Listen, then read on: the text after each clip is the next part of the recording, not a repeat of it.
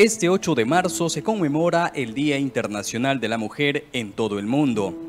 Pero hablar de ellas, y más precisamente en nuestro país, es referirnos a la indignante ola de violencia que las acecha. Solo en enero de este año, el Ministerio de la Mujer reportó 16 casos de feminicidios y en febrero siguiente se han atendido 300 casos de violencia contra ellas. Según datos, de enero a diciembre pasado, la línea 100 del Ministerio de la Mujer atendió a más de 230.000 llamadas sobre hechos de violencia contra mujeres, integrante del grupo familiar y violencia sexual, un mal cuyo porcentaje de violencia en mujeres de 15 a 49 años por parte de sus parejas representa el 57.7%.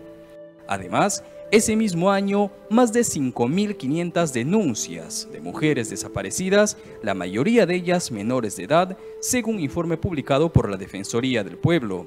Así, un total de 1.686 mujeres adultas y 3.835 menores de edad fueron reportadas como desaparecidas.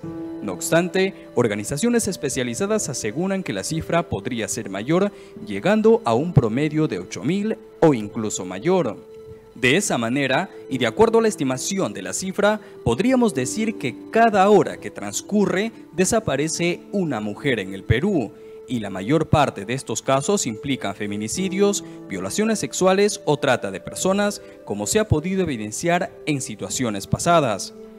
La violencia no conoce fronteras ni estrato social, pues no solo está en las mujeres adultas, sino en las niñas y niños. Según la encuesta ENARES, 7 de cada 10 niñas y niños han sido tratados violentamente alguna vez en su vida.